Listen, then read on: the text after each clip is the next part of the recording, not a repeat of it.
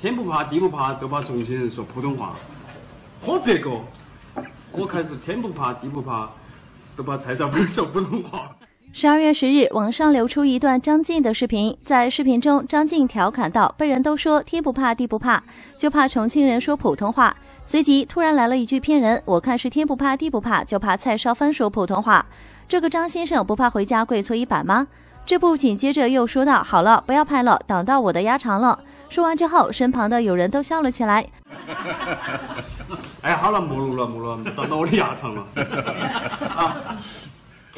我们的娘娘老公张晋也是求生欲极强了，真的是官方吐槽最致命呀！